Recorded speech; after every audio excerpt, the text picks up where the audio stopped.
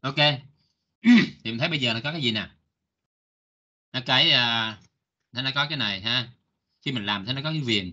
Nhìn vậy nó hơi xấu bạn ha đúng không không ra bạn ra các bạn được thì mình sẽ có uh, cái uh, cái làm một cái gọi là cái collapse ha. collapse là gì? Nó sẽ uh, nó sẽ gom lại nó, nó, nó hẹp lại nha bạn nhé. Bây giờ mình thử luôn nhé thì đây này có cái rule nè thử nó rule thật ra cái này là cái, cái phiên bản cũ bạn nhé. Để tôi chưa dùng tôi chưa muốn dùng CSS này.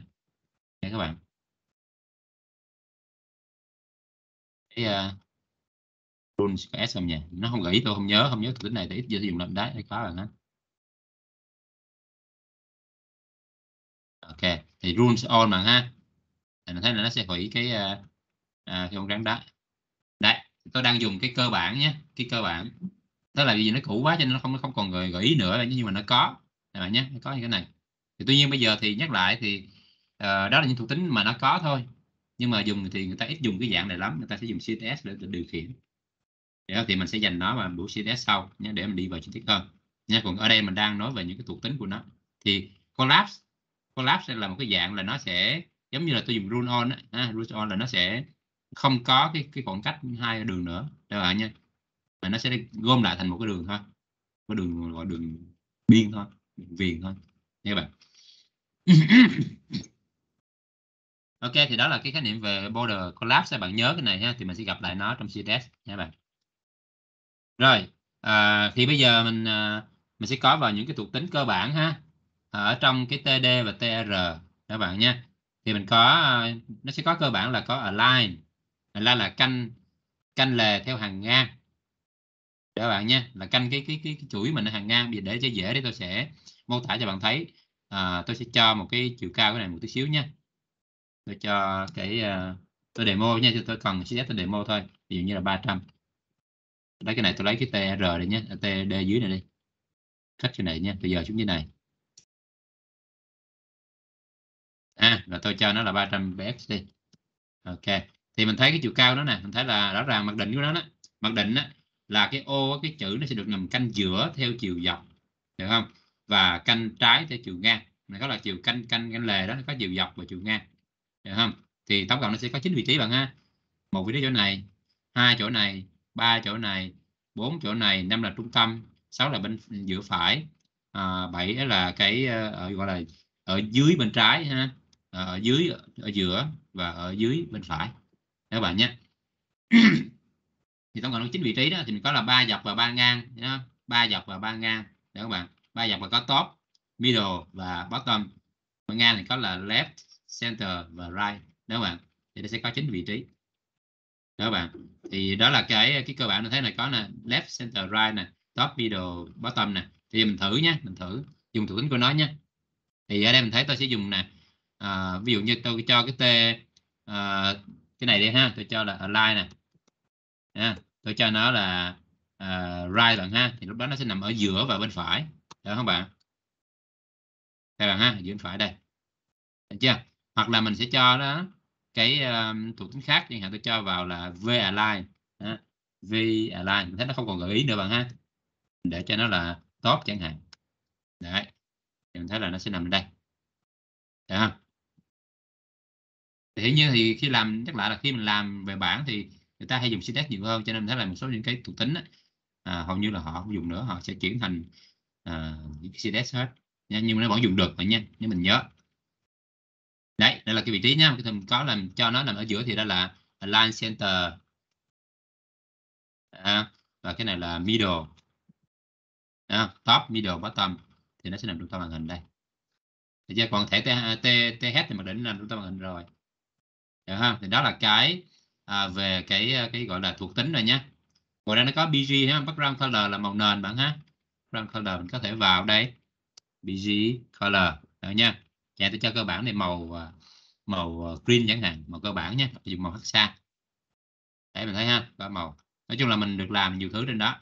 À, có bg có bg color background color à, có align có v align. Đó là thuộc tính ở trong một cái một cái bảng được rồi một cái một cái cái table một cái td tr đều được các bạn nhé. Nó áp dụng cả td tr được luôn. Khi mình dùng tr có nghĩa là dùng cái ờ, uh, tr align center là tất cả các ô bên trong nó sẽ được áp dụng uh, theo cái align center. Để các bạn ha? À, khi mình set tr là tất cả bên trong nó sẽ áp dụng. Rồi, trong, bên trong mình mình định cái lại thì bên trong nó sẽ đè nó đè cái cái cái cái, uh, cái, cái trước đó. Ví dụ nha thì thử mình xem nè. Giờ tôi bỏ đi cái cái uh, cái via line bạn nhé. Via line đi. Thì để thử nha. Tôi sẽ để là, mặc định tôi cho nó là cái tr này nè. Tôi cho cái via line. Tôi cho nó là top. Để các bạn ha. Thì những cái bên trong, nó sẽ cho mình thấy là cái tốt hết nè. Để các bạn ha. Mặc định tại vì nó sẽ áp dụng cái via line tên tr cho tất cả những cái td bên thd bên trong. Rồi nó sẽ áp dụng theo cái via line này. Tuy nhiên nếu muốn muốn cho bên trong nó khác biệt thì mình phải cho nó một cái via line khác thì nó bên trong nó sẽ đè nó đè cái cái cái cái à, cái thuộc tính của cái cha. Đó đây là thẻ cha nè. Đó không này là thẻ con này đó thì con mình nghĩa thì con nó sẽ đè cái cha như mình mình có thể tại đây. Lỗi nó làm gì đồ nhé gì đồ. Đấy thì lúc đó là cái trong nó sẽ override ha. Cái này vẫn cóp nè. Cái này nó override thì mình có thể làm mình muốn là tất cả mọi thứ bên trong nó giống nhau á thì mình nên dùng cái cái class hay là cái thuộc tính nằm ở tr thì bên trong nó sẽ giống nhau hết. Còn cái nào nó nó đặc biệt thì mình sẽ xử lý bên trong từng cái td hoặc th bên trong. Được không bạn? Thì đó là cái về cái ờ, cái cái cái ờ, thuộc tính ha cơ bản. Rồi bây giờ mình xem ha. À, nó có cái um, à, cái thuộc tính khác là còn có cái core span và row span nha. Cái này bạn nhớ hơn còn cái cái padding này thì mình hầu như mình ít dùng nha các bạn đó là cái cái khoảng cách từ cái biên cho tới cái cái cái cái cái, cái content đó, là cái nội dung đó các bạn nhé. Thì chú ý bạn phải nhớ đối với table bạn nên nhớ cái này là hai cái từ uh, trong cái từng cái ô đó ha nó có row span và call span các bạn nhé. Thì hai cái này là cái gì? À thì bạn hiểu nhé. Call span là cái số cột bạn nhé. Mà mà nó sẽ nó như giống như là merge cell bạn nhé mình trộn ô đấy mình học mà trên trên ở trong Word hay là trong Excel mình có là trộn ô ha. Trộn ô. Đó các bạn. Nha. Conspan là nó trộn các cái ô theo theo cái cái cái cái, cái, cái cột nha. Cái cột nha theo column. Các bạn nha. Và row span là nó trộn các ô theo dọc row là dòng mà nha column là column đấy rồi các ô theo dòng. Được cho bạn? Nha. Ví dụ mình thấy nè. À, mình thấy là cái dòng thứ ba mình thấy nè. Dòng thứ ba mình thấy là có là row conspan bằng 3 nè có nghĩa là gì? Nó sẽ trộn 3 ô này thành một. Các bạn nhé, trộn 3 ô này thành một. Được chưa? Và mình thấy cái này, cái rose band này, là nó trộn hai ô ở hai dòng. Các bạn, hai ô, hai dòng, thành một. Được chưa? Thì thấy cơ bản nha, thì nó sẽ canh thân là cái bảng này đó. Thì khi mà chia ra, nó sẽ có cái gì? Nó sẽ có là một cái bảng này, đúng ra nó sẽ có là ba cột và bốn dòng. Các bạn, nó cắt nhỏ ra, được không? Ba cột và bốn dòng. Thì nguyên tắc của nó là gì? Tổng số cột nha tổng số cột và số dòng số cột nó phải bằng nhau nha các bạn. Phải bằng nhau vậy nha. Nếu nó không bằng nhau nó sẽ bị lệch. Các bạn đi thử xem nè. Thử nha tôi bỏ đi một cái tôi thêm một cái ô một cái giá trị nữa nhé. Cái nữa là cái uh, email chẳng hạn ha. Rồi giả dụ như là dòng thứ ờ, thứ thứ nhất tôi có email nha tôi có thêm cái td nữa là có đủ ba ô đó. Td nữa dựa cho là abc a cộng yahoo.com chẳng hạn các bạn ha. Và cái dòng thứ ba này tôi bị thiếu một ô.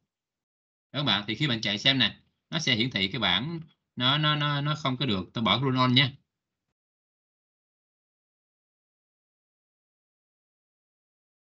Đấy, nó nó lộn chỗ này. Đó, các bạn. Đấy, thì nhìn vào nó nó nó nó hơi, nó trống nó bạn. Nó kỳ lắm.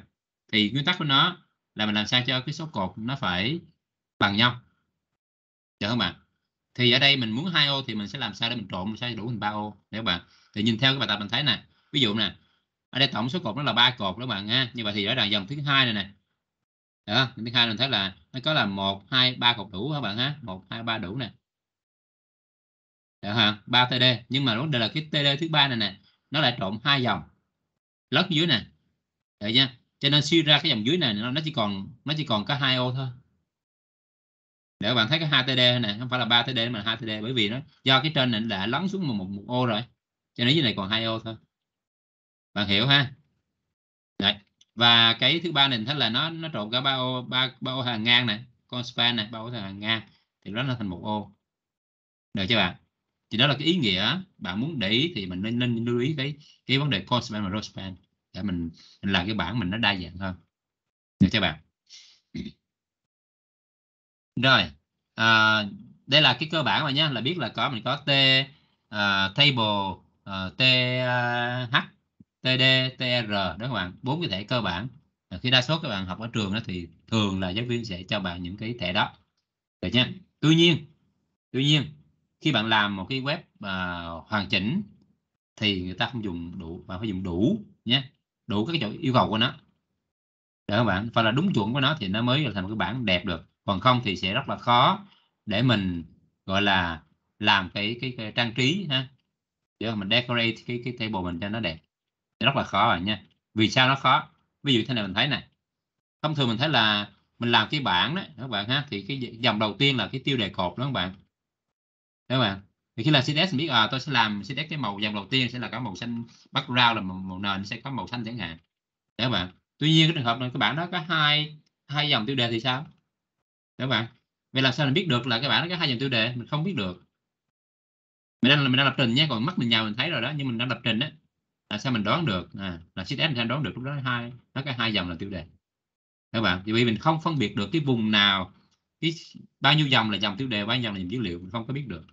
Đấy, thì bây giờ muốn làm cho nó một cái bảng chuẩn thì bạn phải có à, những cái thẻ sau bạn ha và đủ nhất là nó có 10 thẻ. À, như 10 thẻ nha thì tôi ghi lại tôi bạn tôi ghi lại từng từng thẻ nè. Nó có là table đầu tiên rồi nhé được không? Nó là cái table mình có th nè là cái cái header ha. Table header. Table header là cái dòng cái ô làm tiêu đề. Thì ô đó có thể tiêu đề dọc tiêu đề xin lỗi tiêu đề dòng và tiêu đề cột nhé à, tr là dành cho table row nhé td là dành cho table cell mình data nó nó là dữ liệu. Được chưa?